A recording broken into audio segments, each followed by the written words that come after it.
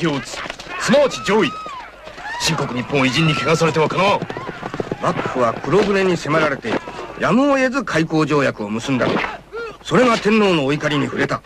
そこへつけ込んだのが倒幕派。長州土佐の過激浪人が天中天中と公家や幕府の要人を日夜暗殺だ。天皇様と将軍が手を握ることに反対して幕府を倒そうとしている連中が今日に集まってる。分かったそいつらを叩き切るのは今度の老子隊の没収だ。ようやく分かったか。将軍が京へ登り天皇様と上位について話し合われる。家光公以来250年ぶりの上洛というんだから老子隊の使命は重大だ。血が湧くの。よし上げる時が来たぞ。俺は行くぞ。山上さん行きましょうよ。俺は近藤さん次第だ。多摩の出稽古から帰ったら相談する。沖田君は？私はこの司令官挙げて参加したいな。男らしく剣一筋爽やかに世の中を渡っていきたいんだ。はいコンペイトあ。勇さんどうするね？俺は行くよ。将軍様を守るために俺も行くぞ。我々玉の百姓は徳川の天領の恩恵を受けてきた。今のように国内で揉めてちゃ外敵を破るどこじゃない将軍様と天皇様が話し合って外敵から国を守ろうとしている。その会談が無事に進むように俺たちは働くべきだよ。不運に乗って司令官天然理心流の進化を世に問う時だ。俺たちの力はきっとご公儀の目に留まりますよトシさん俺は無欲で天下のために働くぞ。久々よしよしよし。よし。あらあららら。よし。いやほらほらほらダメだ。よかったねタバコよしよしよしほら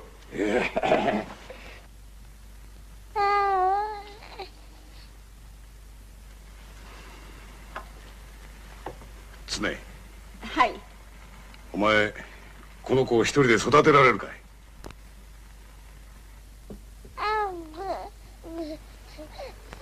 お心が決まったのですねうん同志隊に加わって今日に登る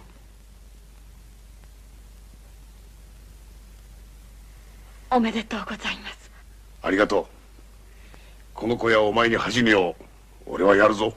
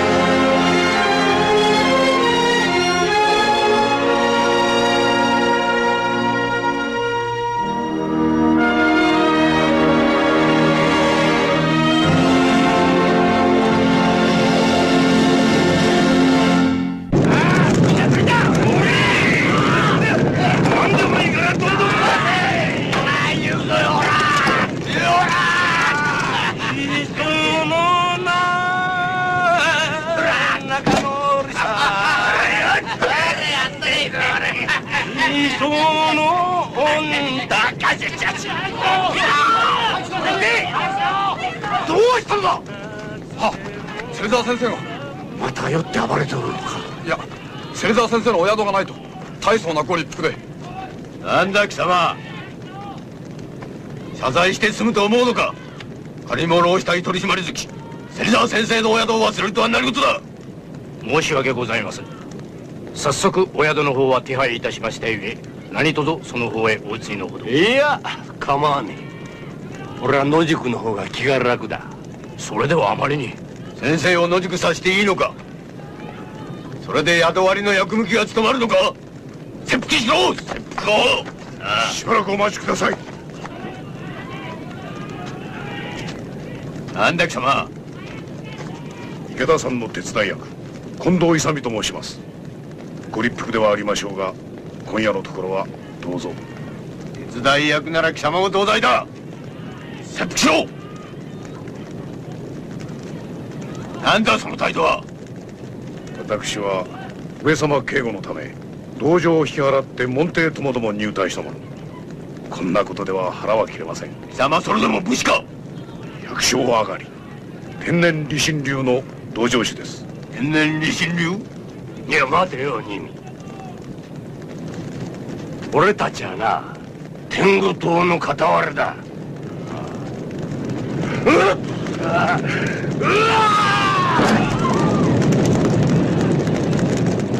拙者の落ち度でござった。何とぞ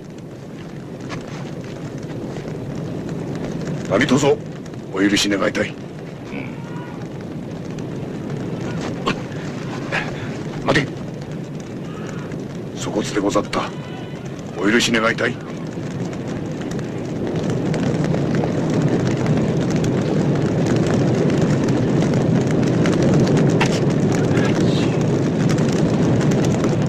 お許しがあるまでここを動きません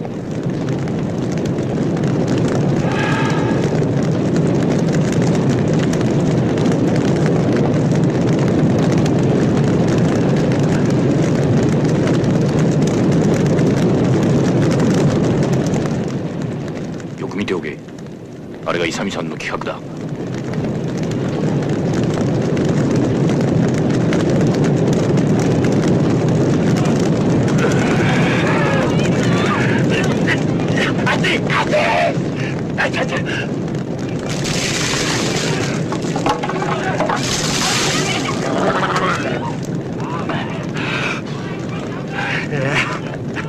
いやめっためったおめえにゃ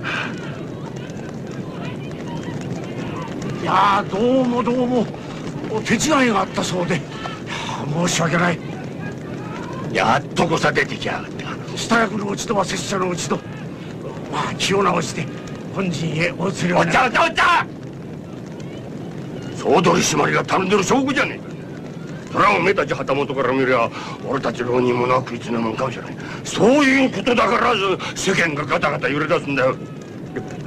ガタガタと。陣中報告のし芹沢家紋を覚えておけ。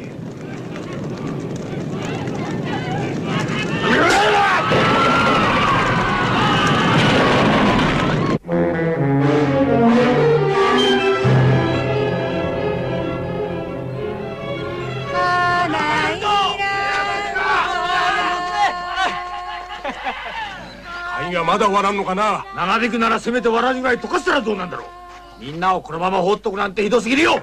全体本堂で何を揉めておるんだ？わからん。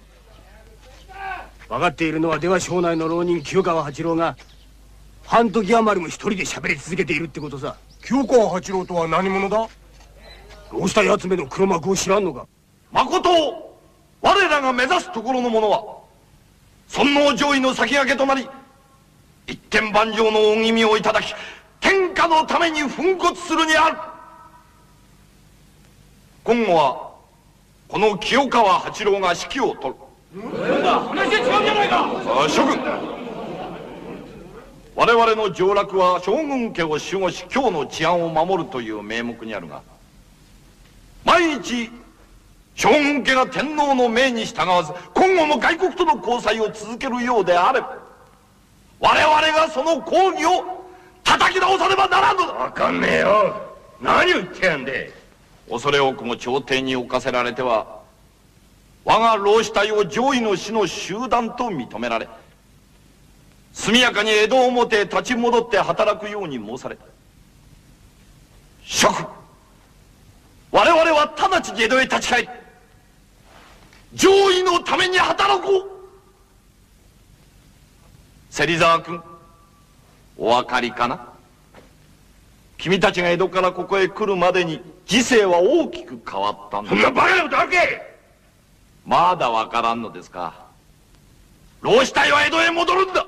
お待ちください！何ですか近藤君？将軍上洛の警護はどうなるんです？取りやめた。我々は国のために上洛される将軍を守護する目的で参ったのです。それを今日につくや否や。将軍家の命令もなしであなたの指図に従うわけには参りません。近藤君。命令の出所などは問題ではない。我々は同じく国のために働く上位の士ではないか。国のために働くことは全くあなたと同じです。しかし筋道の通らないことはできません。このまま今日を去ることは老子隊本来の意志に戻るものと心得ます。ただいま限り近藤以下8名隊を脱退いたします。芹沢鴨以下5名脱退するよ。何？おい清川君。俺は諸国を食い詰めた浪人者だが君みてえにな。勤王だ砂漠だ。やれ今度は上位だなんて都合よく変節するほど俺はここは腐っちゃいねえんだよ。脱退かそれはこちらでもやむを得ん。しかし脱退された以上今後の身分生活については我々は何ら責任を持たん。その点ご承知の上脱退されたい方はどうぞご随意に。我が老子隊は直ちに江戸へ向かって出発する。ご一同。ご用意。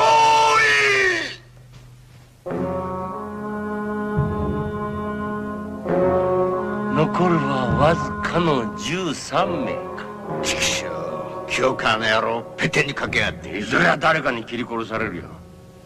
なあンさん。大体徳川幕府も腰抜けだよ。旗本八万騎ってのはいるのに俺たち浪人者をかき集めて上様の警護と治安に当たらせるてめえたちは高い禄をはんで何にもしねえで俺たち浪人者に命を張った仕事をさせようってんだから。お笑い草だよ。そうだよ。お互いに貧乏くじ引いちまったよ。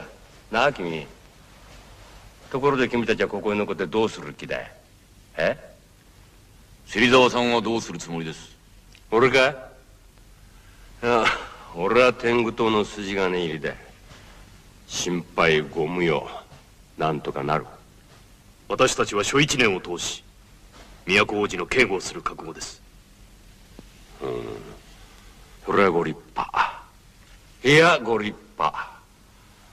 大阪の金持ちでも後ろ盾にしてたったの8人で長州土佐を向こうに回すつもりかい。恐れ入ったよ。ぼや。純粋な気持ちはわかるけどな。甘い。甘いとは思いませんな。私たちは大阪の金持ちなどは相手にはしません。じゃあ誰が相手だ？京都守護職会津中将松平片森公に直訴してあくまで目的を果たします。勤王だろうが砂漠だろうが金になりさえすれば飛びつく。そんな奴らがこの京に入り乱れて治安を乱しているのです。守護職は手を焼いているに違いありません。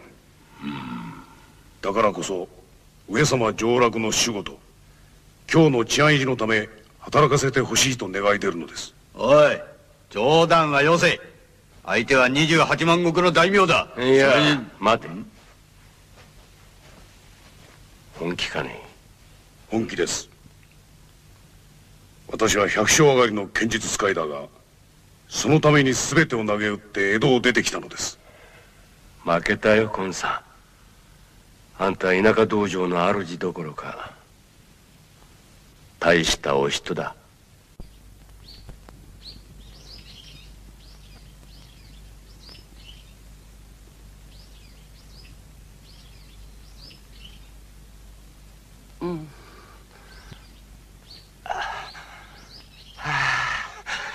めっためった。いつまで待たせやるんだ？長く待たしたからってのにもありがてえもんじゃねえんだよ。ダメならダメと早く言えばいいじゃねえかな。願い書だけはまともでござりまするが何しろそこをも知れぬ浪人の輩。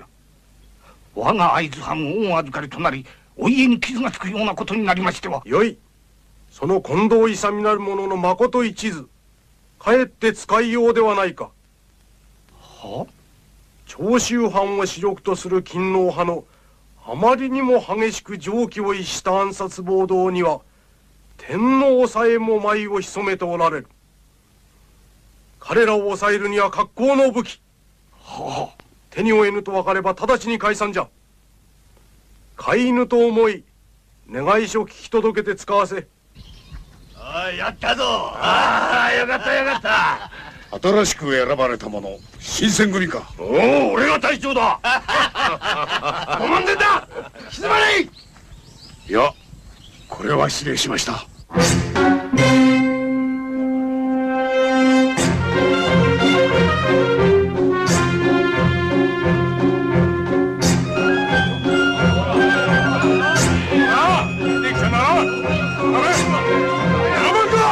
何？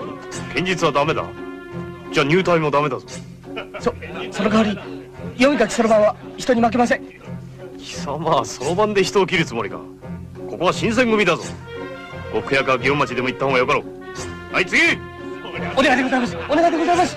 臨海!のくせに危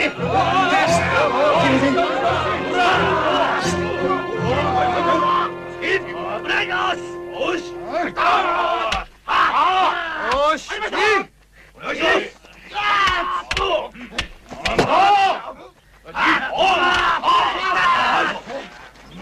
ます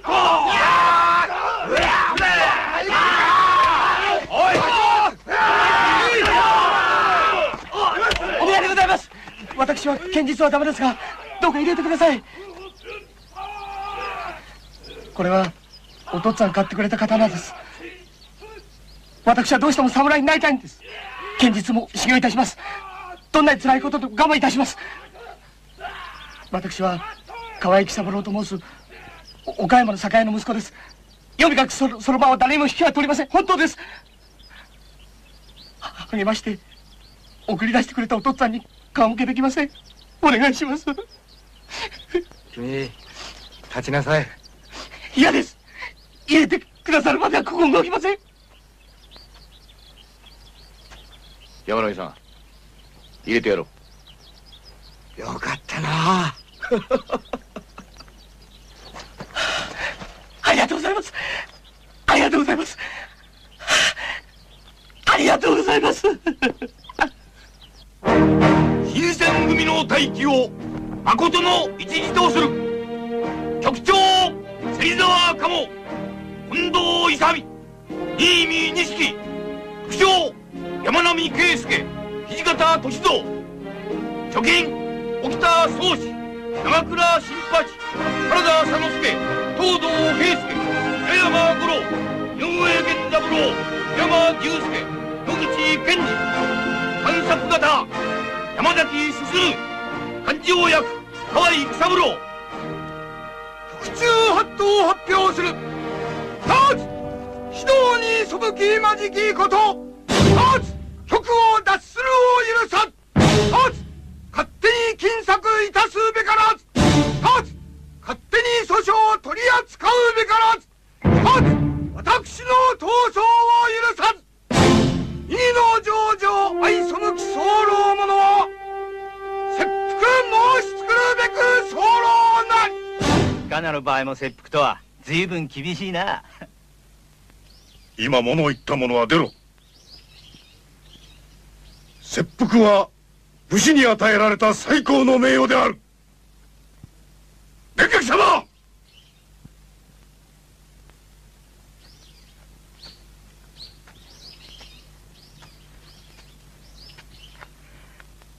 申し訳ございません。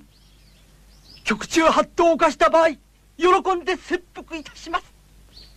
君には切腹はできん。せめて生かして返すのが情けだ。されはい。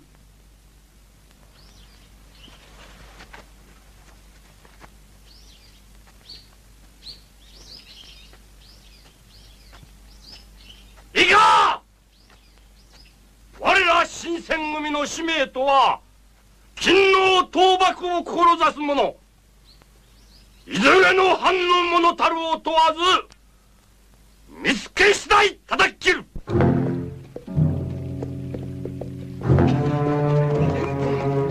二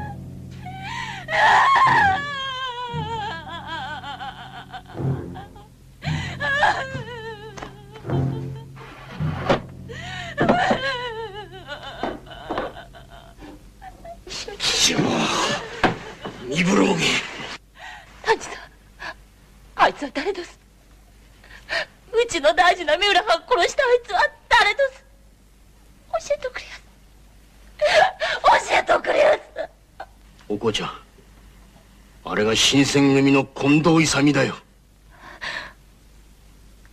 近藤勇。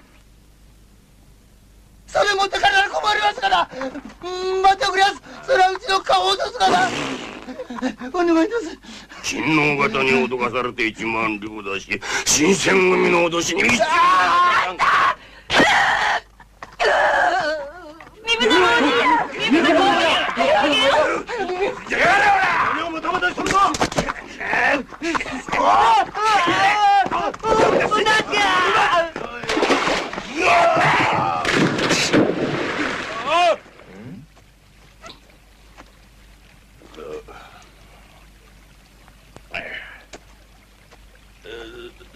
どこ行くのあどこどこ行くんだえどこへ行くんだ後で来いよ今日は島原ですか。え？基本山の方だ。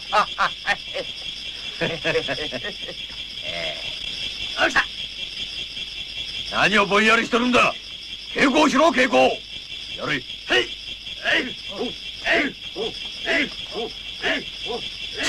真っ昼間から茶屋遊びか来いこらこらこら今日はダメだ今日は表でやれよ表でさっさと行かんか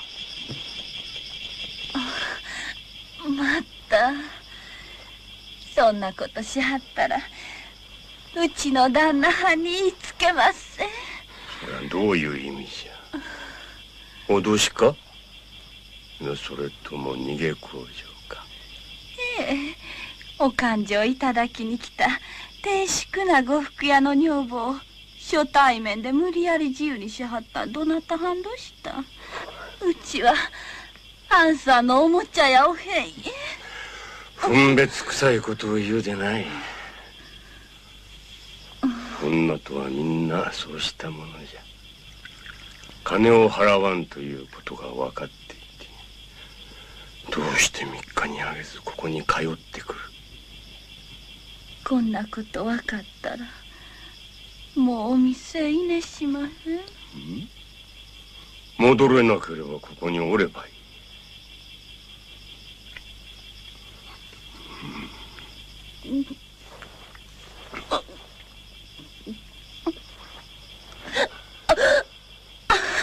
小雨もんどせもっと優しゅうしとくれやすほら本日の見回り終わりましたご苦労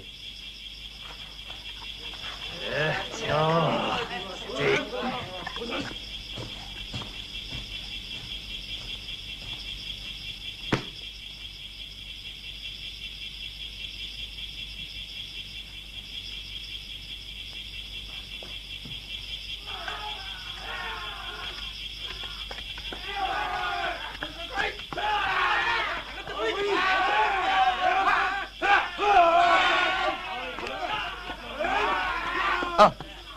もうお帰りですか。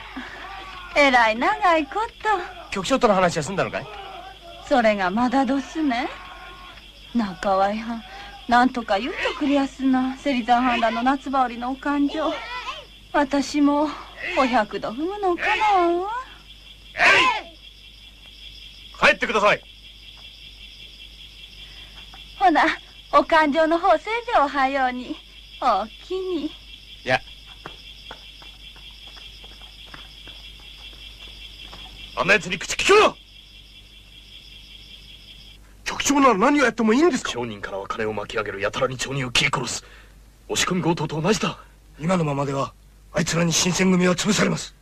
あの気違い酒は絶対に許せない。叩き切ってやる。待て。わしに任せてくれ。芹沢さんにはよく話をしよう。土方君君は新見さんに意見を頼む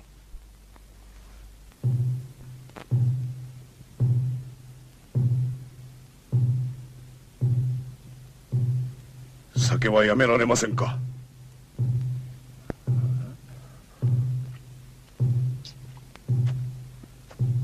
やめてください酒を。やめられるぐらいならこんなざま見せやしねえや。しかし俺は酒に行くんでんだでもその酒飲まなきゃ生きちゃいかれねえあんたには分かんねえかもしんねえな。死んだ方が楽だ。そんな弱気はあんたらしくもない。酒を断つんですあんたならきっとできるはずだ。俺は局長になるほど立派な男じゃねえんで。そんなことを言ってる時ではない。近頃会津藩ではあんたの乱行に目をつけてどうせ新選組は寄せ集めの浪人組だ。ご公儀の恥にならぬうちに解散させてしまおうという動きがあることもご存知でしょう。すまねえな13人から苦労して発足した新選組だ。今ここで潰されたくないじゃありませんか。我々の目指す誠一時の新選組であることを示してください。あんたと一緒にわしも酒を断つ。芹沢さん立ち直ってください。ゴンさんお前どうして俺のことをそんなに？酒を飲まなければあんたは立派な侍だ。ゴンさん局長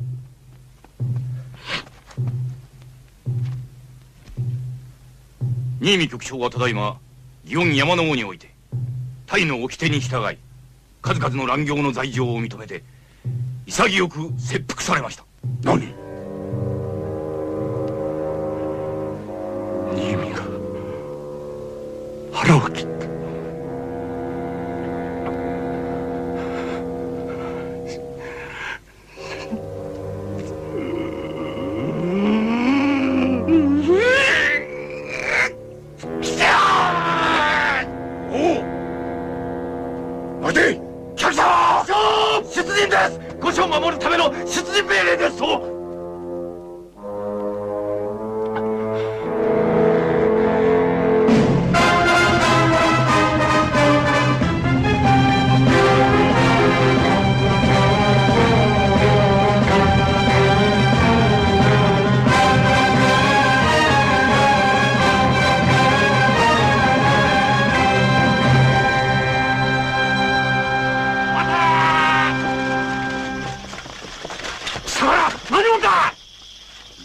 新選組です。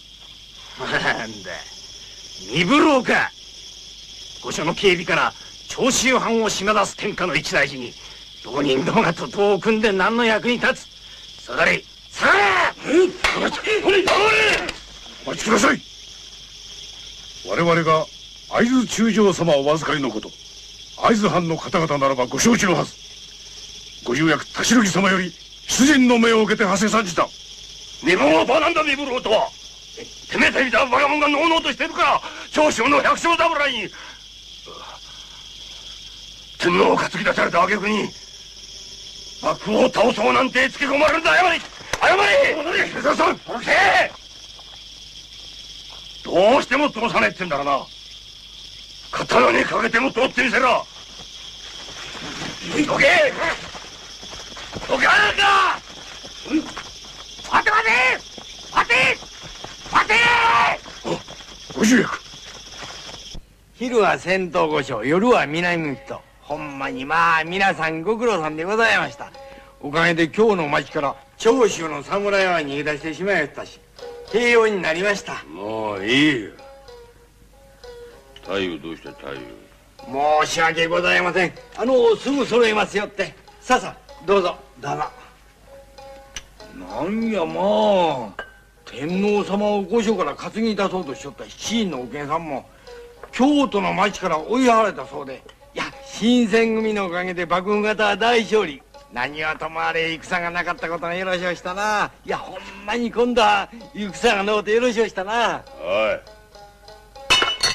新選組は戦がなかったから勝ったって。そんなこと申してしまへんがうるせ貴様新選組を見くびってのかあんたみゆきだえ。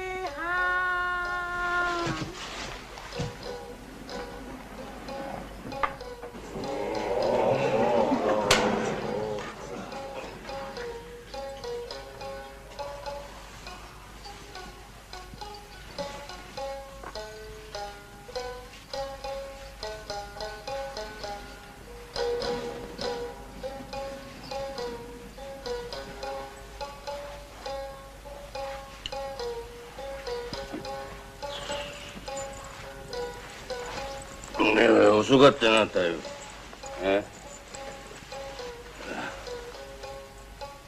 支度しろよ。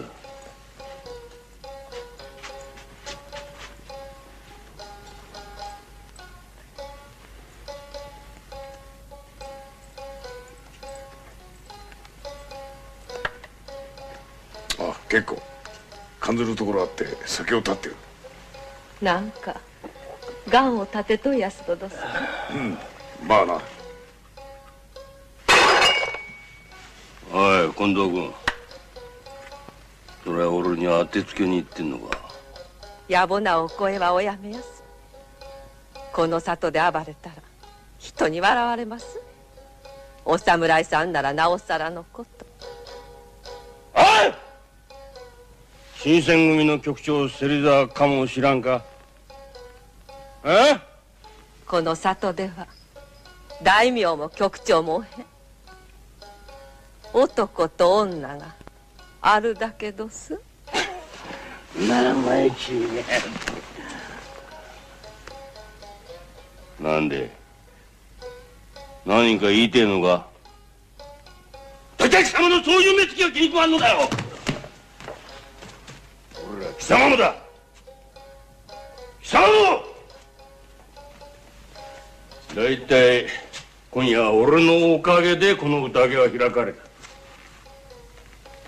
今度の働きで我が新選組もようやく会津藩に認められて初めて賞金をいただいた。百姓上がりの近藤君は反対であったが英気は大いに養うべしと俺が決行したんだ。なんだ何が気に食わんのだ？戦場戦火土方。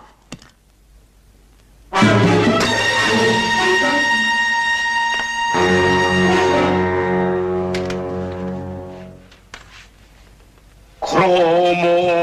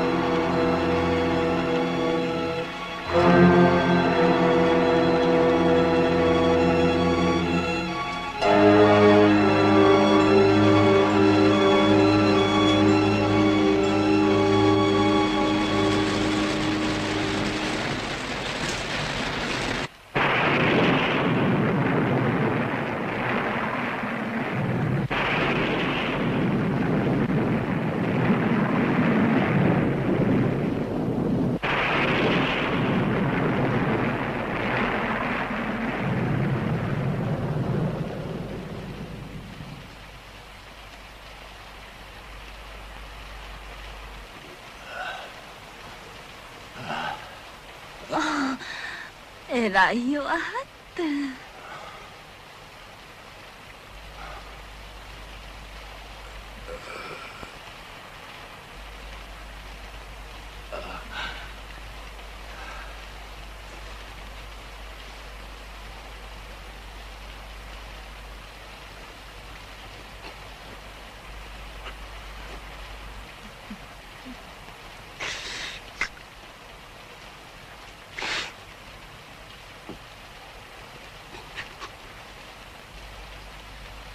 どないしはったんです。いや水くれよ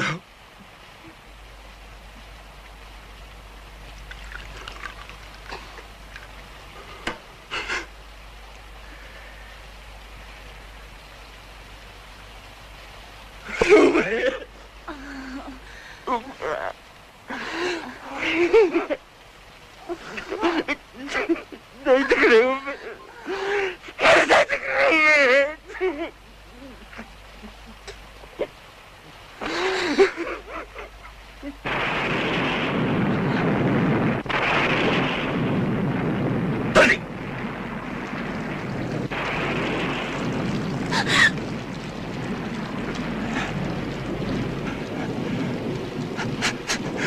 やっぱり俺を殺しに来たのか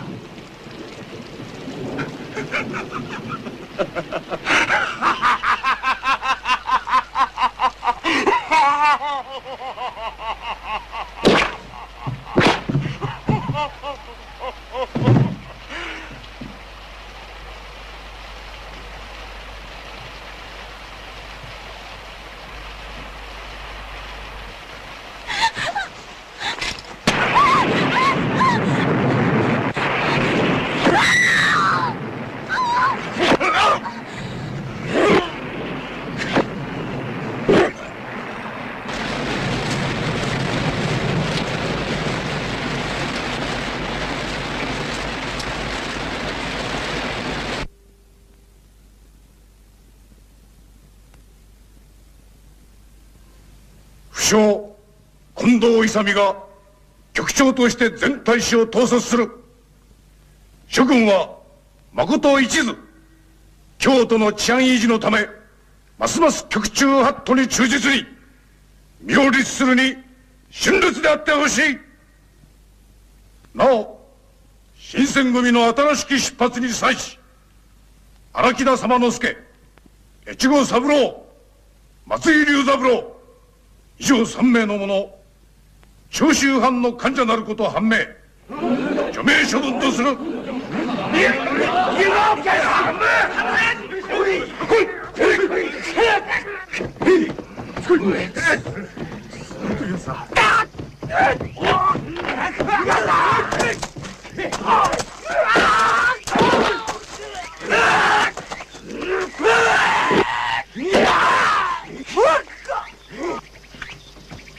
三人の首を三条河原にさらせ。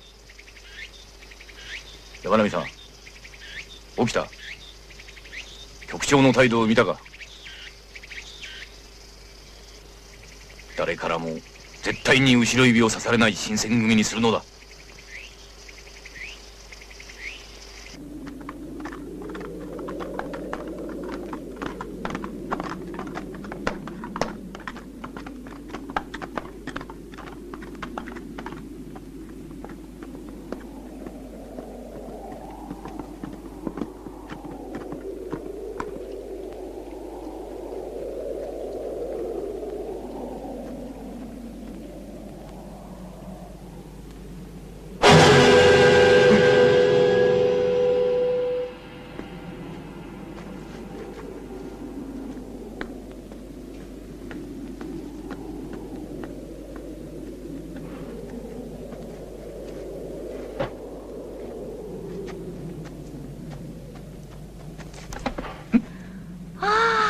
この寒いのにかわいそうやな。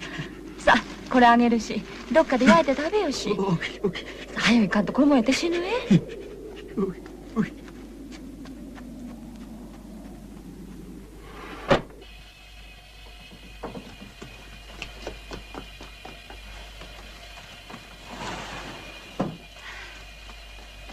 心配おへん。ただのおこもはんどうした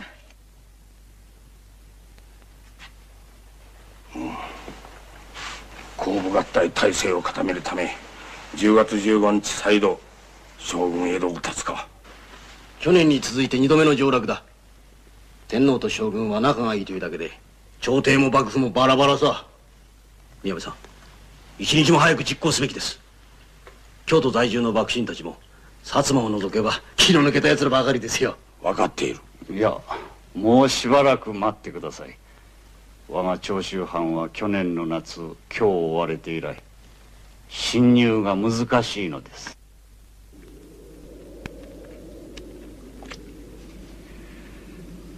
この寒いのに山崎さんご苦労ですね。勤王浪人の動きがますます激しくなってるからな。それにまた長州の奴らも言い込んでるらしい、どうしたんですか？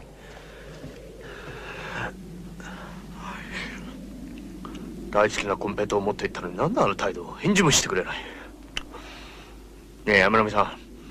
近頃の局長はどうかしてると思いませんか？沖田君今の局長は隊を一身に背負っている責任感で自分自身を戒め市場を挟む余地はないんだよ。しかしゆとりがなさすぎるな。江戸を出てから1年。今では会津藩も新選組を頼みにしている。そこへ再び上様の上洛だ100人余りの大使を統率していくには些細な失敗も許されない。一時も気を許すことはできないんだ。局長は気の毒だよ。局長って大変ですね。私はそろばんだからいいけど皆さん毎日切り合いばっかりでおっかないでしょう。バカ。死ぬのが怖くて侍になれるか。命は粗末にしてはいかんね。おかえりなさい。寒寒寒早く風呂へ入って温まれよ。おきおきくそ今夜もまた失敗とすわ。一人怪しいのがおりまんねんけどいっつもうまいとこ巻かれてまいまんねん。くそ今に見てけつかれ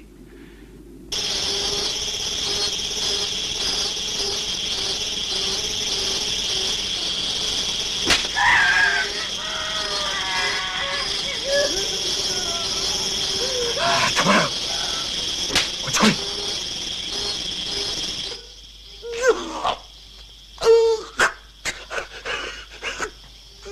え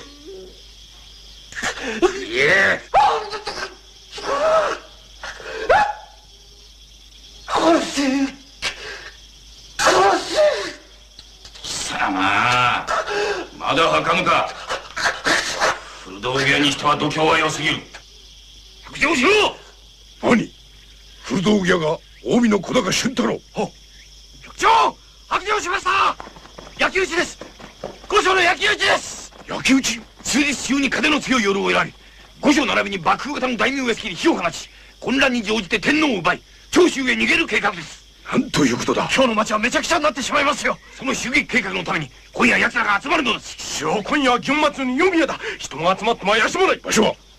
三条池田屋師匠指導できる大使は大阪出張中の者病人を除いて30名よし遅れてはならん。会津公に出兵を願い出て今夜犬の国池田屋を襲撃する。堪忍どうせお返してましてすんまへん。かまへん。かまへん。帰って涼しなったが。なこれ気ぃつけんかいな。あおかえりやす。今日はえろはよすなこうはつってはあんた行商もやってられまへんがな。それにあんさん今日は祇園祭りの読み屋ですがな。おい急いでやれよ。沖田さん。いいか沖田さん。それなね沖田さん。沖田さん。うるさいな。今忙しいんだから後にしてくれ後に。人数はいいんですか？少し足りないからイライラしてるんだ。どうでしょう？遊びに行くんじゃない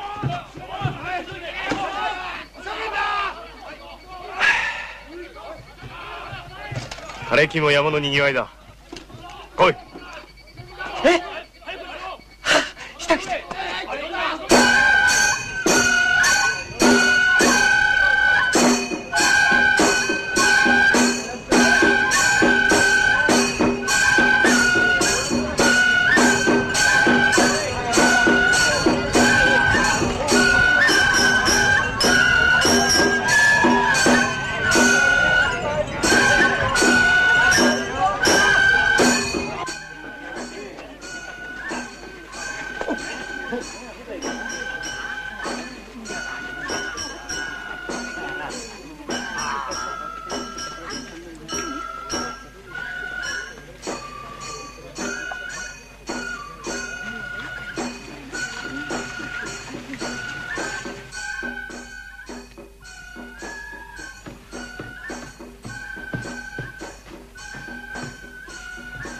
気張っておいやすな。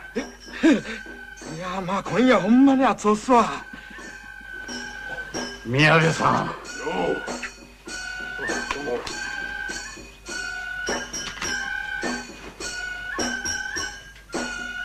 桂さんからの手紙です。局長！局長！縄手の四国屋にも四五十名の士たちが集まるという知らせが入りました。四国屋四国屋へ50池田屋へ30会津藩一平の返答がまだ来ないんです。遅いな。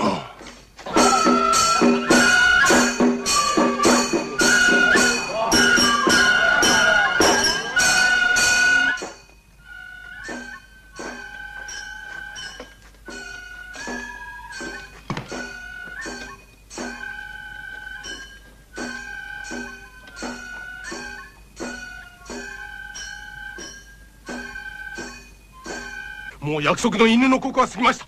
なんとぞなんとぞご出兵を。そう言われても困るのじゃ。藩の手続きがいろいろあっての。それにの宵宮の警護で四五職も手不足なんじゃ。京都の町がめちゃくちゃになるんです。御所に火がかけられるんです。ご重役にご重役に合わせてください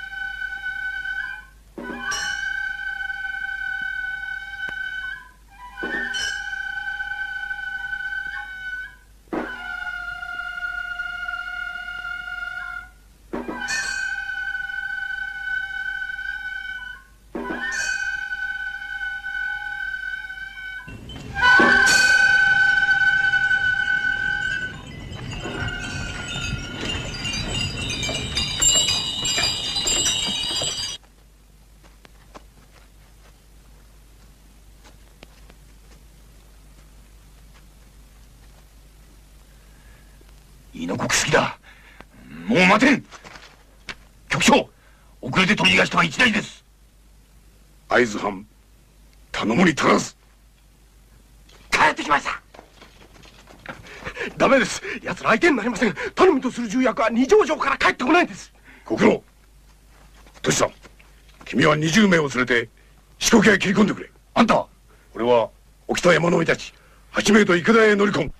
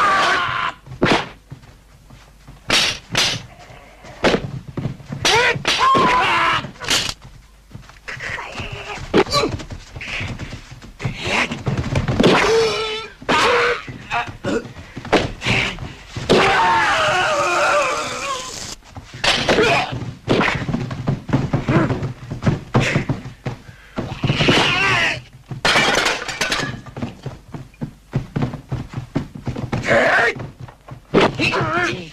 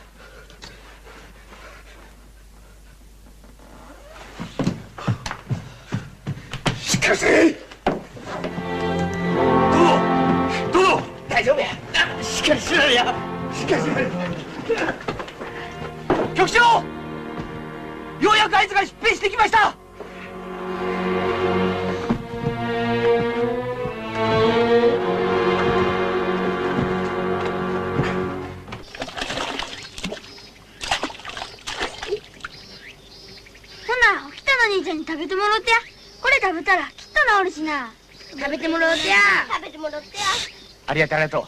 みんな静かに早く帰ってくれ。な。なんで？よ。なんで？よさあさあさあさあ。北の兄ちゃんに。会えや分かった分かった。な。ありがとう。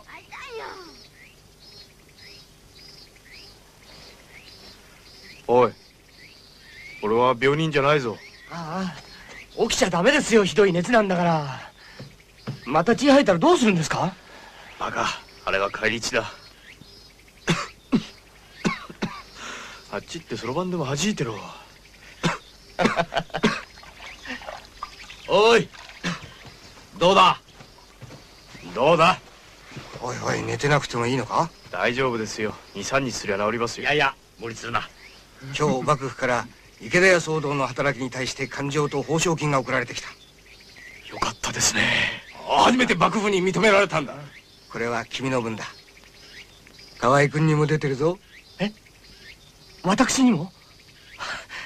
たった一人しか切ってませんが。そろばん憲法恐れ入ったよ。ああ沖さが良くなったらな久しぶりに大使一同島原でパーッと派手に大老会をやろうじゃないか。いいですね。莫大な報奨金が来たんだ。やらなきゃ。いい気になるな。池田屋襲撃を鼻にかけるんじゃない。世間が注目している時こそ自重すべきだ。新選組の一人一人に重い責任があることを忘れるな。起きた室町に本命堂という医者があるそうだ。行ってみろ。医者は嫌です。絶対に嫌です。局長命令だ。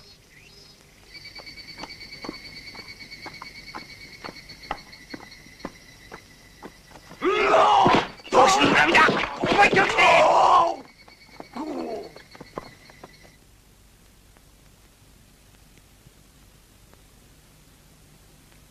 なぜなぜ屯所で通夜をしてはいけないんです？刀も抜かず屯所の門前で切り通された油断者を大使として扱うわけにはいかん。よしかし！山並さん局長の怒りはもっともだ。局長死んだ大使たちも新選組の同志として自らの不徳をきっと責めているに違いありません。彼らの死を無駄にしないよう私たちが行動すればいい。この上死者に鞭打つようなことはしなくてもいいじゃありませんか？どうか大使として弔ってやってください。こんな大使に情けをかける必要はない。有志が集まって弔うことは許す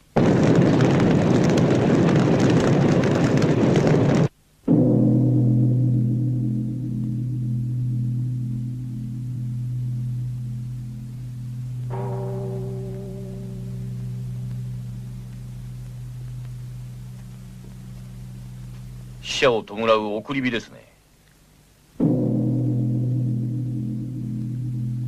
トシさん俺のやり方が間違っていたら言ってくれ。間違ってはいない。俺たちが少しでも息を抜いたら新選組もこの今日の町も得体の知れない大きな怪物に一息に飲み込まれてしまいそうな気がするんだ。流れの速い時世の中で生き延びるには弱気は許されませんよっても切っても切り尽くせない。それでも切るか。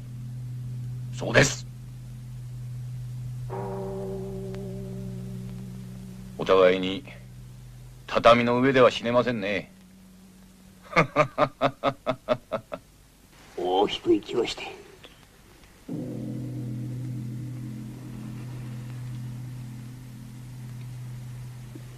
先生あと何年生きられますか？そうさな。確かなことは言えんが。2年。2年？あと2年も生きられるんですか？なんとかしたいが。今の医学では無理だな。いや2年あれば文句ありません。お父さん早く早く。大文字が消えてしまいます。おお綺麗だな。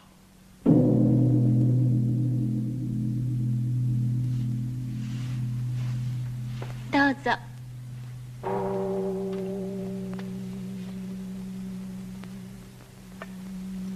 このお酒に大文字を移して飲むと長生きをすると言われています。へえ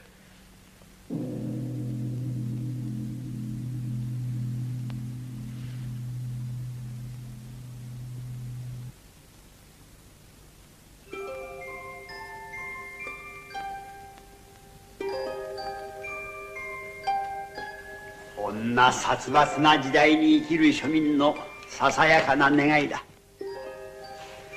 いじらしいもんじゃろ。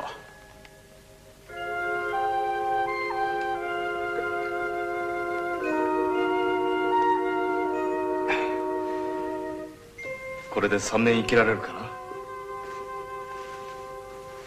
あの日のように悔いなく生きたいな。火は嫌です燃え尽きるのが寂しくて。こんなに自分の命が大切に思えたことはありませんよ。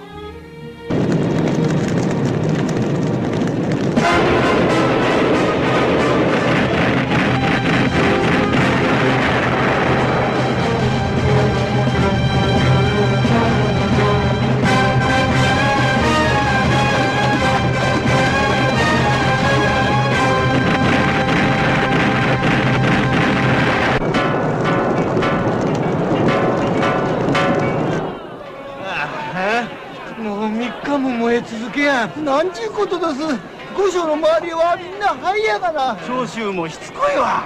去年負けて逃げたのにまた攻めてきよるんやもん。長さんを取ってどうしようっちゅうんやろ、新選組が池田屋へ切り込んだ払い瀬もあるらしいで。今度も負けて逃げよった。逃げるのはええけども罪も恨みもないわしらのうちなんで火つけて逃げんならんのや何もかも将軍様がしっかりしておへんからや。迷惑被るのはいつの場合でもわしらばっかりや。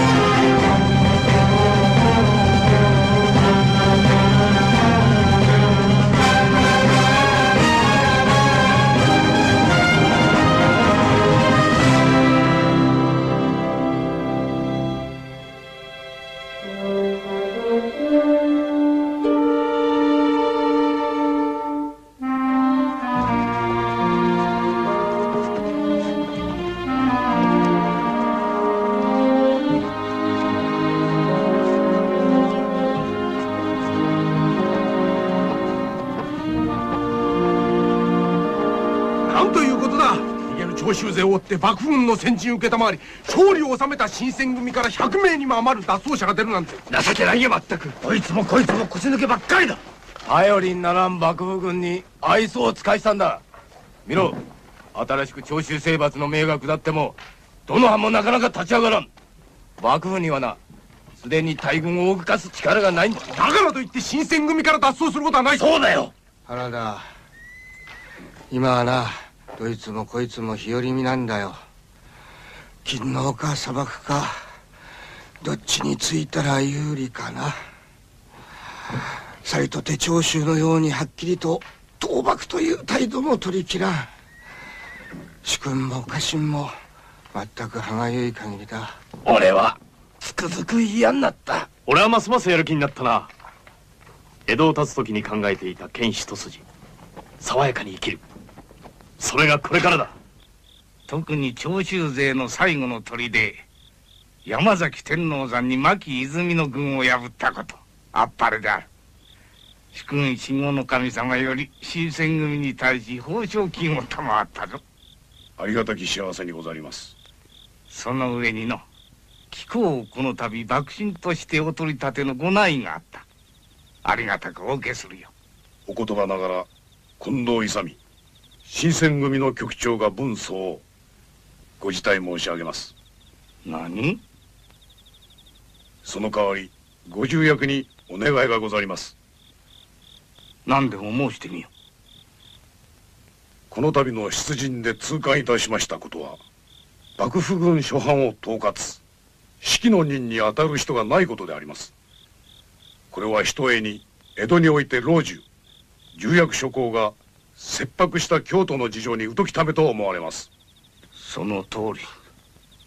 主君肥後の神様の嘆きもそこにある。何卒その使者として私を江戸へお使わしください。後部合体はこの機を逃してはなく事情不明では徴収征伐もなりがたいと思われます。現状打開のため恐れながら会津公の親書をいただき一日も早く江戸へ参りとうござります。何卒上様に一日も早くご上洛をお願いいたします。将軍家御自ら成長の軍を率いて万端の指揮を取り遊ばすならば諸藩も必ず命に従って長州征伐の軍を動かすに違いありません。その方の気持ちはよくわかるが正直言って上様ご上洛の費用もない。しかしこのままに打ち捨てておけば長州はもう一度盛り返します。薩摩は幕府を見捨てて長州と手を結び倒幕の巨に出ることは火を見るより明らかです。ご重役は今日の状態がどのようなものかお分かりにならんのです。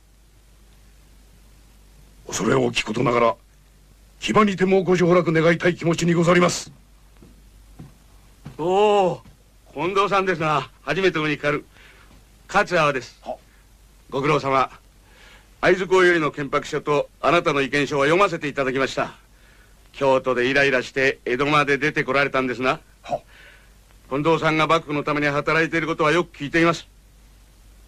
だけどね近藤さん。幕府はもうガタガタだ。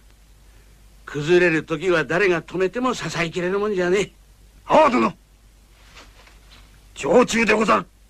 言葉を慎まれい二人ぐらいずけずけ言うやつがいた方がいいんですよ。ね近藤さん。そうでしょう。阿波の神様。あなたは幕府の重臣でありながらまるで人事のように言われるが一体幕府はいや日本はどうなるのですか？このことをしかと教えていただきたい。さあなるようにしかなるめ幕府は年を取りすぎた。もう新しい若い力がそろそろ交代する時が来たんだよ。俺の願ってることはね無益に日本人同士血を流したくねえことさ。近藤さん新選組を解散したらどうかね。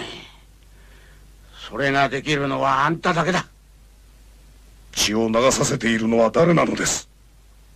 人を斬ることを喜ぶ人間などはおりません。あなたはあなたは無責任だ。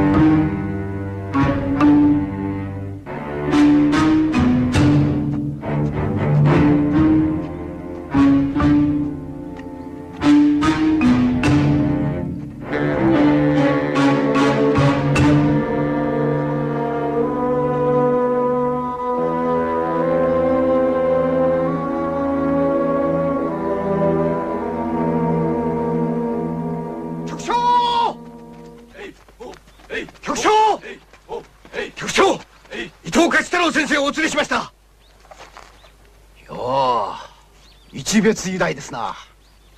久しぶりです。わざわざおいでいただいて恐縮です。いやいや山並君からあなたの話を聞いてこちらこそ京都の様子を知りたいと急いでやってきました。近藤さん東本清掃あなたのご苦労お察しいたします。ありがとうございます。伊藤さん担当直入に申します。あなたの学問あなたの剣で私を助けていただきたい。助ける？目下の時勢は混沌として何の見通しもない。私は玉の百姓上がり剣一筋学問のない人間ですがこの時こそ新選組を盛り立て国に平安をもたらしたいと思うんです。同感です。こんなことでは日本を狙う外国に踏み込まれてしまいます何としても天皇のわす京都に平安をもたらすことですよ。伊藤さん京都に来てください。新選組に加わってください。ご立派になられましたね。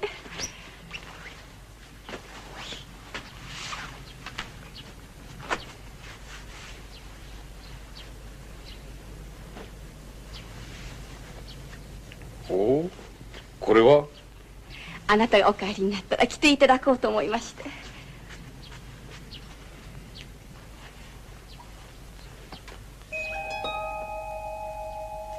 玉子玉子おかしな子。毎日お父様お父様って待っておりましたのよ。2年も留守をすると親父も忘れられたか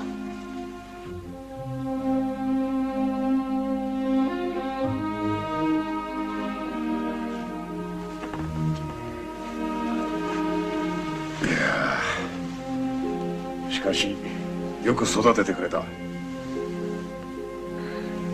私の生きがいは玉子とあなたの噂でした。生きて二人に会えるとは思わなかった。よくよく帰ってきてくださいました。常今度はいつ？23日。いやことによると明日急に立つかもしれん。また戻ってくるよ。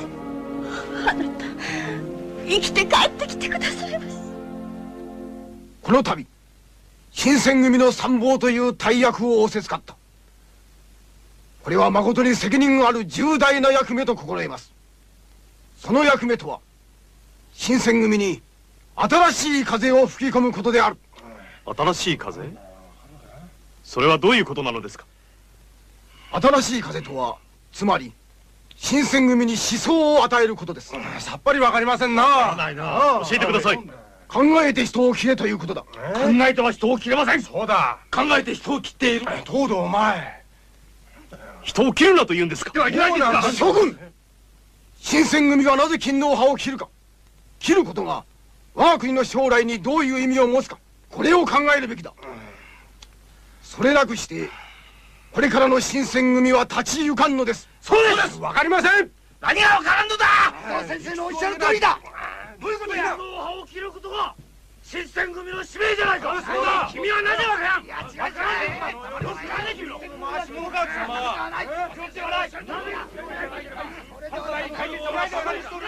山並さん。山並さん。なんだ？あの後にしてくれ。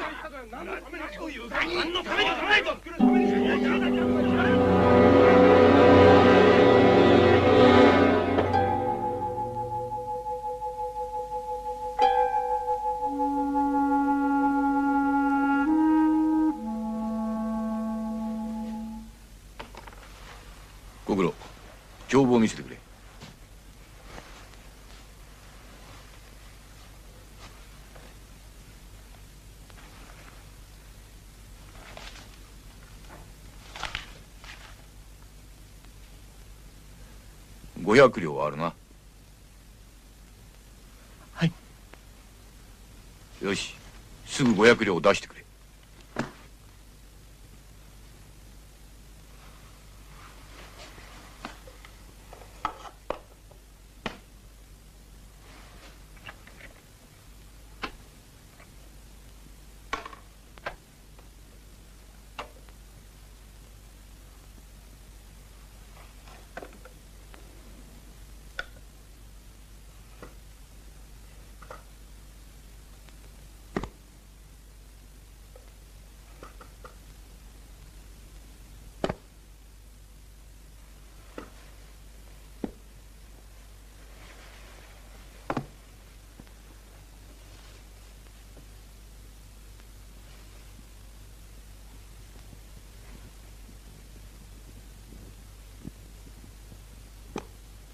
450両ではないか。あの。あと50両どうした？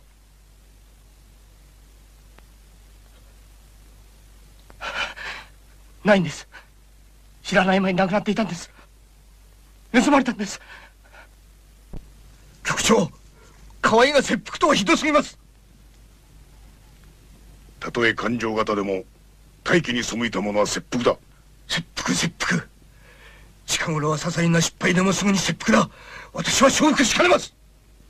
河合は金が盗まれたことを全く知らなかったのです。公金を使い込み盗まれたなどとは言語道断だ。河合は公金を盗むような男じゃありません。信じてください。信じる？起きたそれでは新選組の中に金を盗む大使がいるというのか。何と言おうと50両紛失は勘定型河合の責任だ。分かっています。だからこそ責任を感じて国元の父親に頼み50両の穴埋めはすると言っているんです。山並さん武士が責任を取るということは死ぬことだ。もちろん河合は大使です。しかし町人上がりの勘定型ではありませんか。50両の穴埋めができればタイに迷惑をかけることにはならない。まして大使は金額に関わらず理由によっては借用できることになっているはずだ。勘定型の特権を利用し発覚しなければ公金を利用してもよいのか。金持ちの息子は何をしても許されるのか。他の大使に示しがつかんあくまでも切腹。誰しも命はただ一つしかない。その命を主義主張のためならいざ知らず50両と引き換えに見殺しにするんですか？局長国元へ飛脚が飛んでいるんだ。せめてその返事が来るまで待ってやってください。局長お願いします。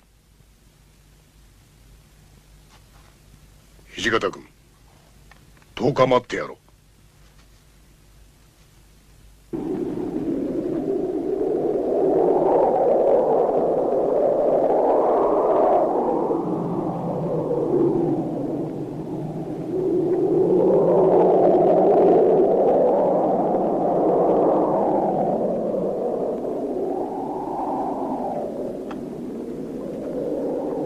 まだまだ国元から飛脚は来ませんか？飛脚は来ませんか？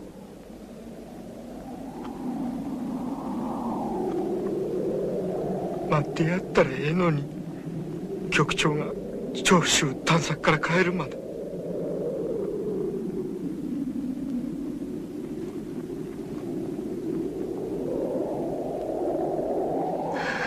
飛脚はまだですか？飛脚は。まだつかん今日は11日目。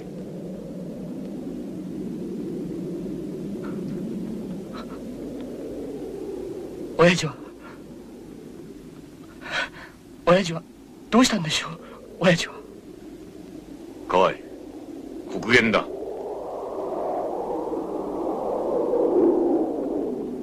私は？打ち首ですか？切腹でしょうか？切腹の方法を知っているのか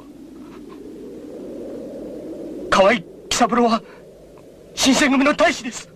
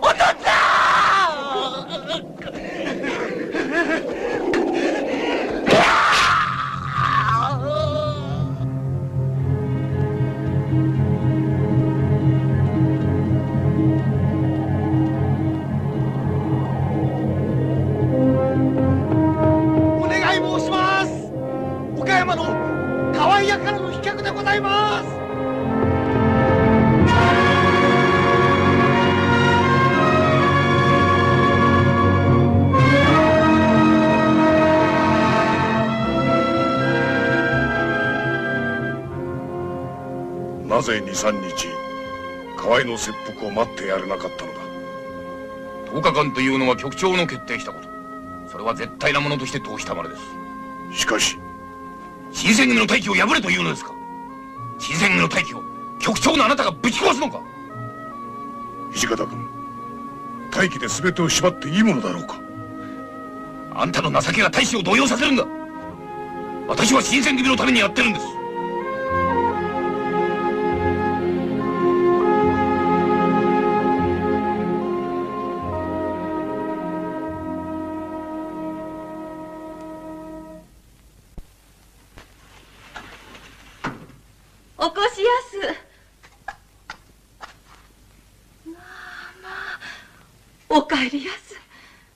はるばる長州まで一っとやしたそうで。お疲れどっしゃろ。ささどうぞ。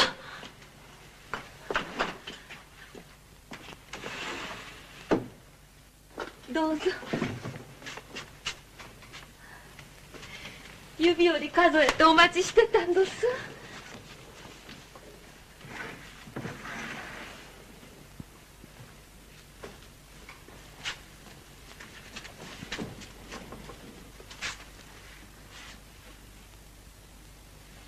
今日からお世話になります。お頼申します。よろしく頼む。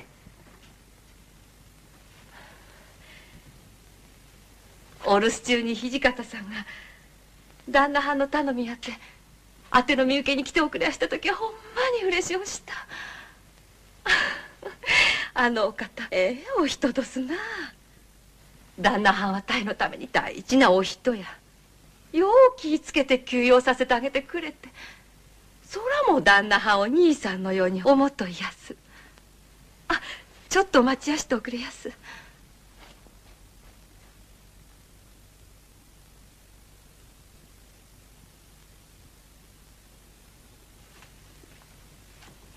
まあまあ。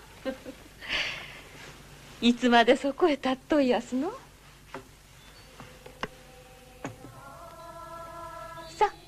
どうぞ。ほう金平糖か。お好きやって土方さんにお聞きしましたさかい。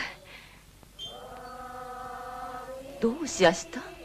いや金平糖のことなど思い出す暇もなかった。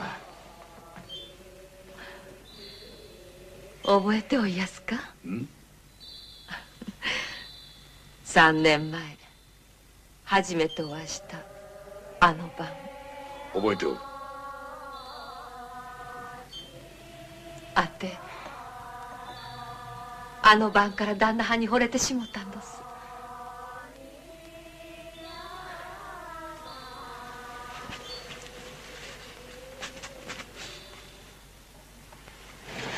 新選組の局長さんは怖いお人やと思ってたのに。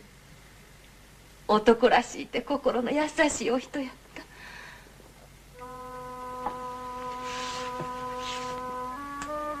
た。あれからずっとごひいきになって離れられへんようになってしもたんです。離れられないのは俺だ。お前のそばにいる時だけは何もかも忘れて自分を取り戻せるように思える。嬉しおすそない言うとおくれやして。こうしてお世話になれて。夢どした？お前身寄りは？へえ。妹が一人だけ知り合いのうちでお名越しさんしてますけど。島原の中では面倒も見てやれまへんさかい取ってやればよい。ほんまですか？局長山鍋さんが脱走しました。俺が行くと沖田がまで追いかけました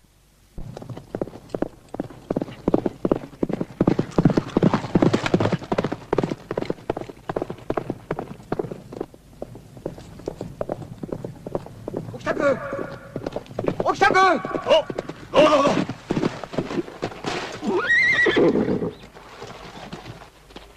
山鍋さん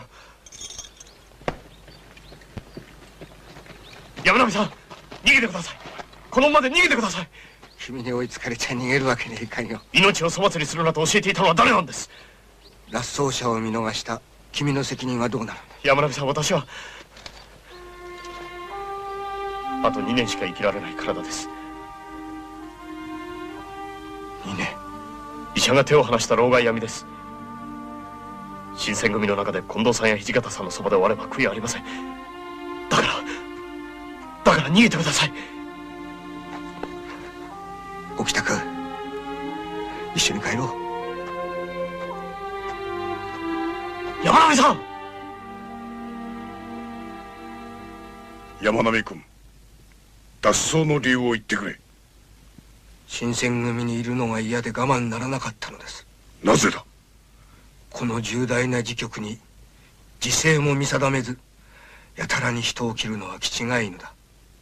私は気違い犬になりたくなかった理屈をこねて通るような世の中じゃない。私は近藤さんが好きでした。昔のあなたには温かい血が溢れていました。今は凍っている。土方君と同じだ。批判憎しみ呪い結構。大使を引きずっていくには血と涙はいらん。凍った血でいいのだ。そうか河合の死があなたに関係があってもですか？どういうことだそれは？五十両紛失が発覚したのはあなたの女を島原から身請けする金のためだったんだ。その通りだ。しかし局長の金と50両の紛失とは問題が違う。局長には何の責任もない。土方君。局長あなただって大気に違反したら切腹してもらいます全てが大気大気大使も人間だ。近藤さんや土方君の人形じゃない。山並君。あなたもまた人形だ。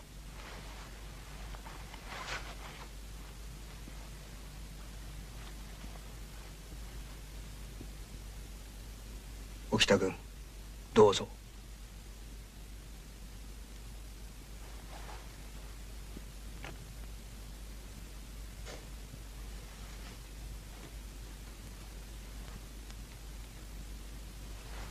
近藤さんどうか時の流れに飲み込まれないでください。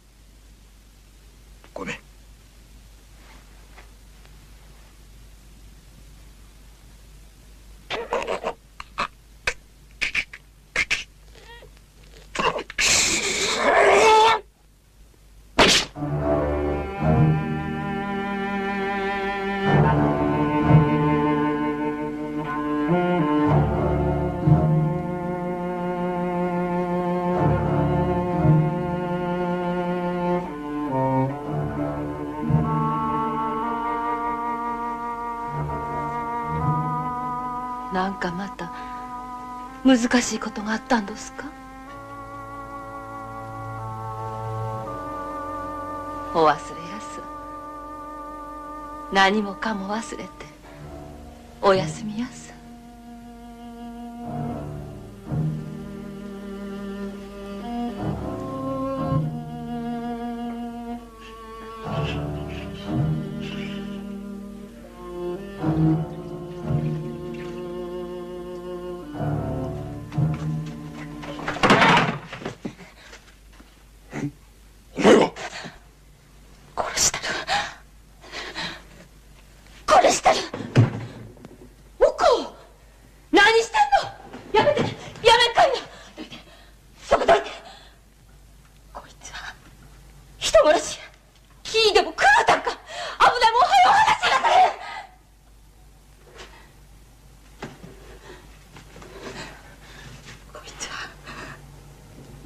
うち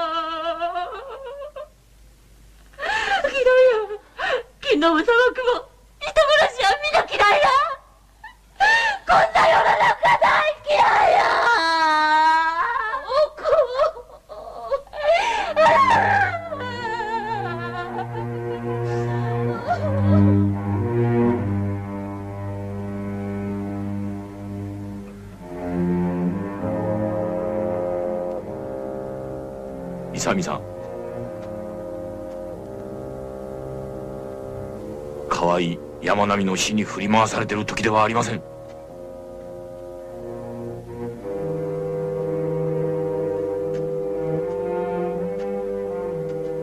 後部合体を切望した天皇と将軍は死んでしまった。今こそと薩摩と長州は手を握ったし進帝を擁して幕府を倒そうと押し寄せてくる。幕府軍の今の気力ではとても勝つ見込みがない。局長の言うべきことですか？これは真実だ。幕府がしっかりしてりゃ浪人集めて新選組なんてものはできなかった。あんたよく知ってるじゃないですか。何のために玉から出てきたんだ。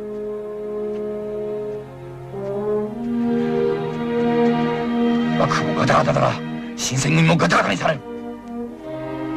伊藤さんのことか。そうです。私に人間を見抜く力がなかったのだ。局長。トシさん俺は人を信じたいのだ。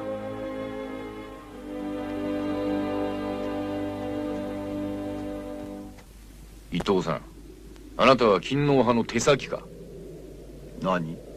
あなたは近藤さんの誠実さにつけ込み最初から勤王派の指令で新選組の内部分裂を図ったんだ。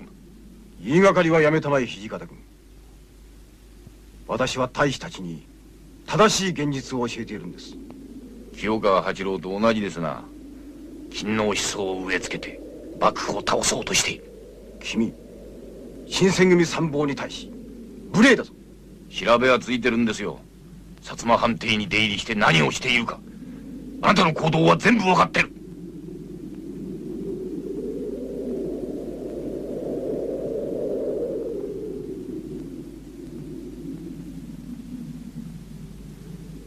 参謀としての責任を取っていただきます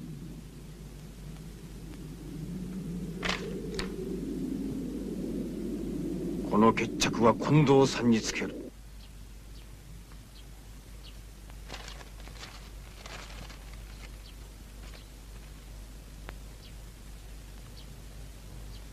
脱退か。脱退ではない。あくまで分かれて別な角度から新選組に協力するわけです。別な角度。薩長両藩と親交を結びその機密を探り逐一新選組に知らせようと思います。どうぞ。局長の了解を得て我ら15名お別れいたします。近藤さんいずれまた。東堂君もか。ごめんお前なんか局長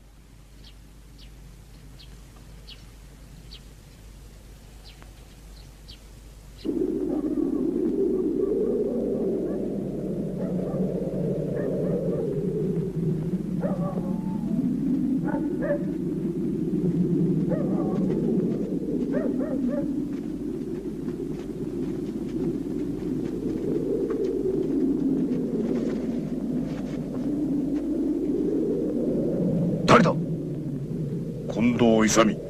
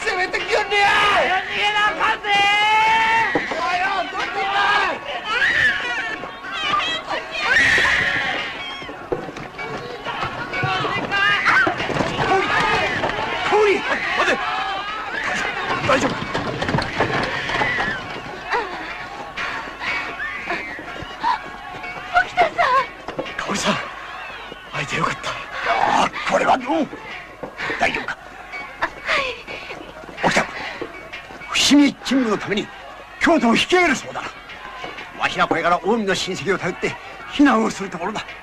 いよいよお別れです。ねお世話になりました。いや。香織さん大文字の酒でまだまだ長生きしますよ。ありがとう。バカなくやつが兄貴そうですよ。戦が終わったらまた大文字を三人で見ましょう。きっと会いに来ますよ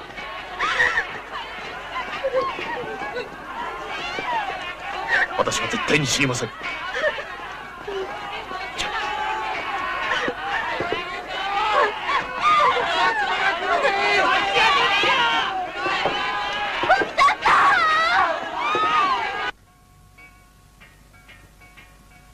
おゆき。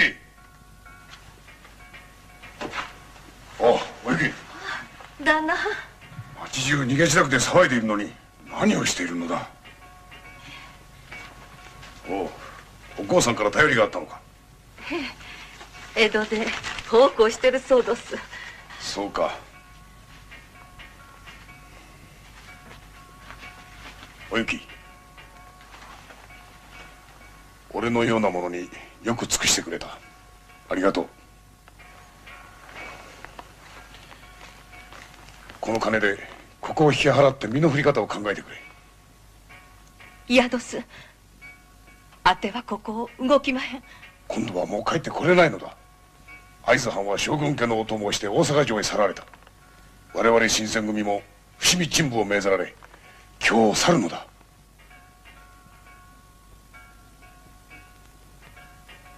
あての命は旦那藩のもんどす。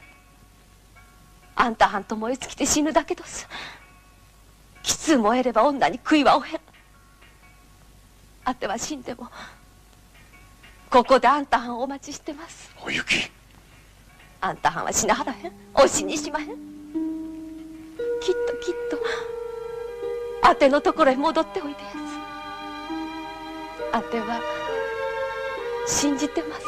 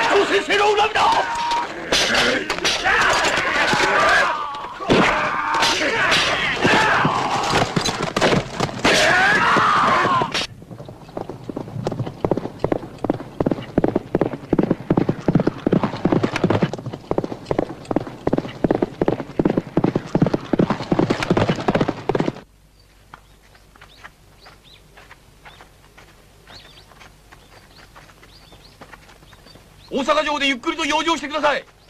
頼むぞ土方君。後のことは心配なく。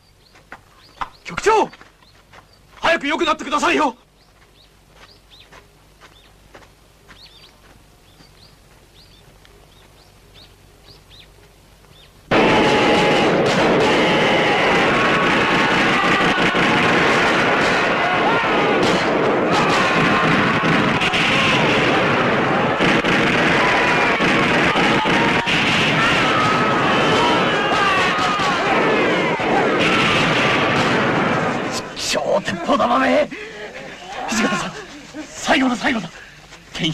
俺に切り込ませてください。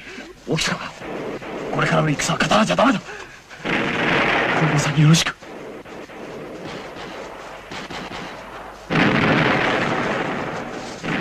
反対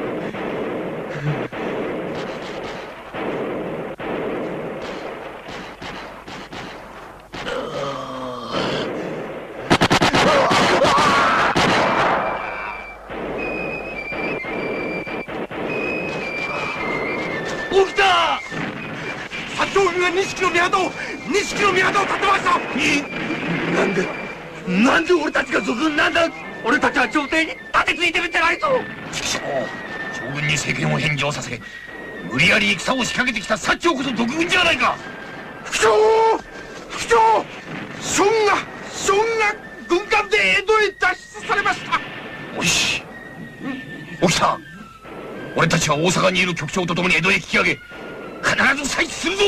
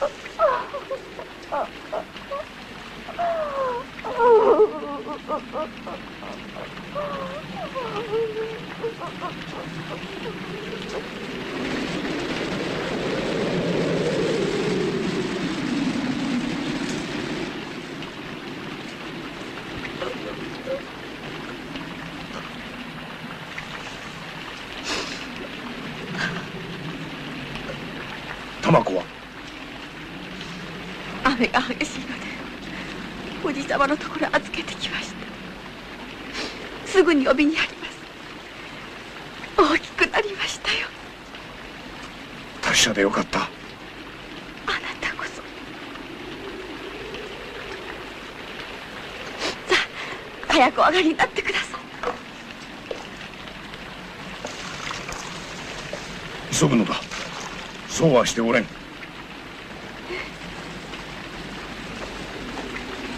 兄に相談してあとは頼むぞ。またすぐ戻ってくる。タバコを頼むぞ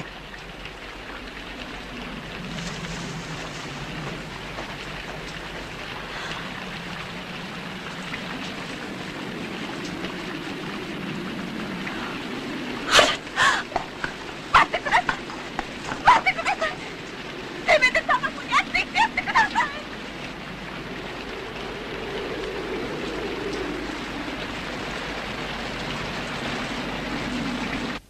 紅葉鎮部隊を率いて甲州へ出兵のためお別れに参りました。わざわざ来てくだすって恐縮恐縮。阿波の神様あなたの邪魔な新選組を江戸から上手に追い払うことができますな。近藤さん。軍用金や大砲私に若年よりかくまで下されその上死に場所を与えてくださった。最後にあなたに申し上げたい私は戦を好むものではありません。将軍家が300年に及んだ政権を潔く手放したのです。それを長州薩摩はあくまで徳川を賊軍扱いにして無理やり戦に引きずり込んだ。何が勤王です。彼らは官軍の名を借りて政権の座に就こうというのではありませんか。それが許せません。私は朝廷を疎んじたことは一度もありません。しかしこのまま引き下がれば徳川のやったことが全て悪いことにされてしまう。だからこそ私は戦うのです。時勢に逆らう者と言われてもそれが私の誠です。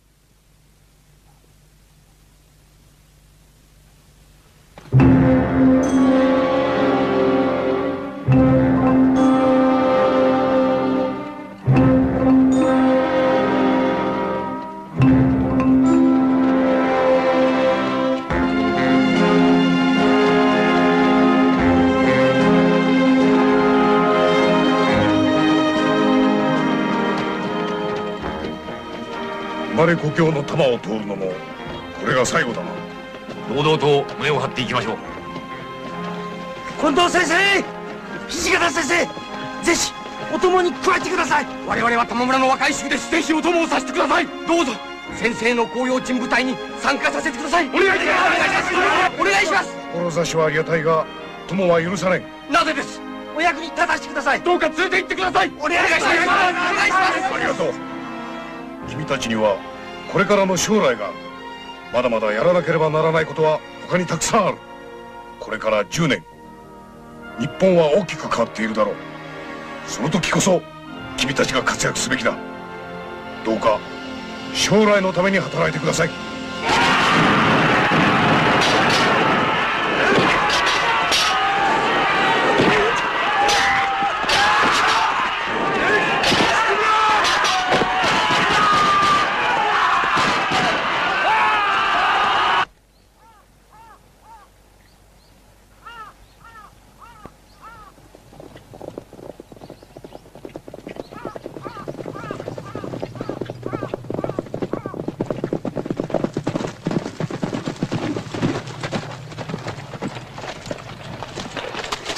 長根山陣地の者どもよく聞け官軍副参謀有馬東太だ当長根山本陣はすでに官軍によって包囲されているぞ新選組生き残り近藤勇以下速やかに降伏いたせ!東洋鎮部隊で敗れこの流山で勝負しようと思ったのにここもまた取り巻かれてしまったのか!もういかんな。何としてでも脱出しよう。これ戦っても犬死にするだけだ。そうです。脱出しましょう。勇さん会津子を頼って再起を図ろう。俺は官軍の使者に会う。降伏するんですか？新選組の局長のすることがあんたを引きずってでも連れて行く俺はいかん。頼む！逃げてくれ！局長局長逃げてください！お願いします！みんな逃げてくれ！俺の最後の頼みだ！死者と会っている間に逃げてくれ！勇さん！局長トシさん長いこと世話になった。あんたは俺の嫌なことを全部背負ってくれた。あんたがいたからこそ俺は局長としてやってこられたのだ。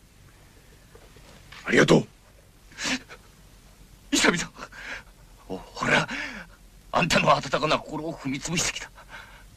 許してくれ。三太の百姓の頃とトシさんの手は同じ温かさだな。これからは自分の思うように生きてくれ。俺は俺はあんたを死なせたくないんだ。トシさんたまには俺の自由にさせてくれよ。俺の分まで生きてくれ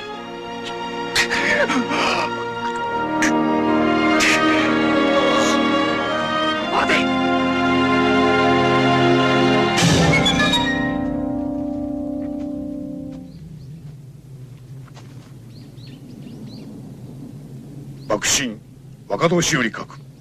元新選組局長近藤勇正則です。有馬東太である。前将軍徳川慶喜去る3月13日江戸明け渡しひたすら標準の意を表しているにもかかわらずなぜ手間か。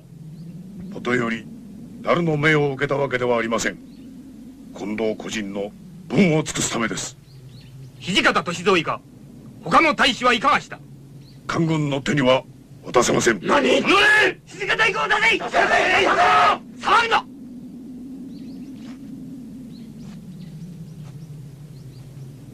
近藤勇の一名に変えて大使一同は落としたと申すか。大使にはおのおの好む死に場所を与えてやっていただきたい。逆賊の汚名を着ての死は私一人でよい。新選組局長として取るべき責任です私を切れ。何？打ち首？さよう。打ち首こそ近藤にふさわしい。官軍に立てついた逆賊だ。待ってください。敵とはいえ近藤は一軍の将。武士として切腹を言い渡すべきではないか。有馬君。逆賊に切腹などもったのほかじゃ。谷さん我らとて立場が違えば近藤と同じく逆賊になっていたでしょう。誠一筋決して日和見には生きてこなかったあの男を並々ならぬ人物と私は見た。過去の罪は罪。できうれば近藤の命を助けて明治新政府の力にしたい。バカなこと言うな。君は官軍副参謀有馬東太ではないのか？賊軍の回し者か？言葉を慎め。何？なるほど近藤は勤王の師匠を幾多切り捨てた元凶である。その罪万死に値することは私も分かってる。がしかしこれからの日本は諸外国に越して新しい国づくりをしなければならん。そのためには一人でも多くの立派な男を必要とするのだ。近藤は人殺しでしかない。奴のおかげで明治ご維新がどれほど遅れたか知れんのだ。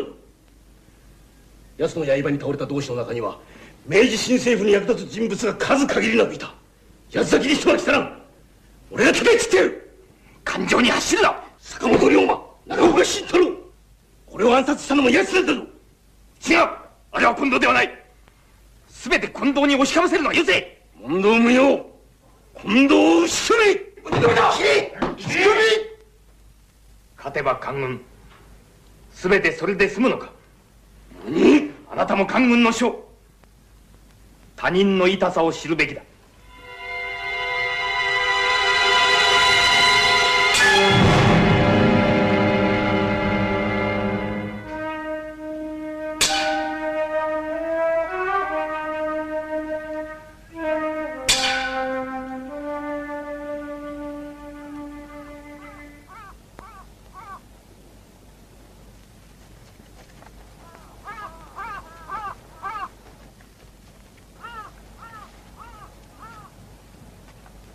近藤さん。何か言い残すことはありますか？妻には甲州出兵前最後の別れをしてきました。お恥ずかしいがその説娘に会えなかったことが心に残りますな。それが人の情というものです。文武に優れたものでも人の情がわからぬものはけだものと同じです何一つしてやれなかった無責任な父親ですが娘が平凡な幸せの中で穏やかに暮らせるようにと願っています。有馬さん100年も生き続けてきたような気がするこの6年でした。この時世の中で誠実に生きようとすればするほど身動きができなくなった。おかしなものですな。近藤さん。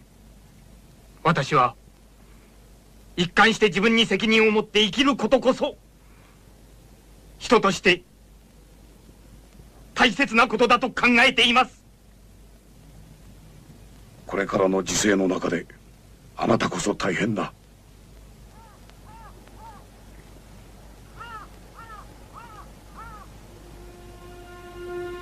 ひげが伸びましたな。どうせこの首はどこかにさらされるでしょう。このままではみっともない。小塚を貸してくれませんか？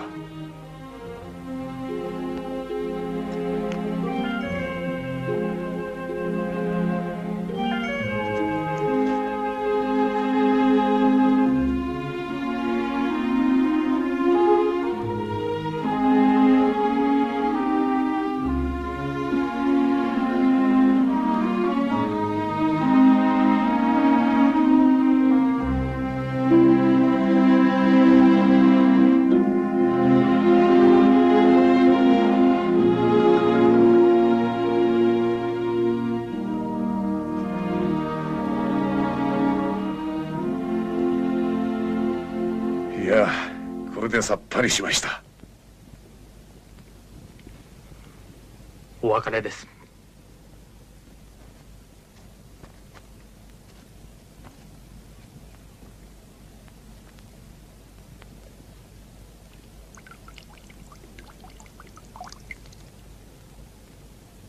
お願いします。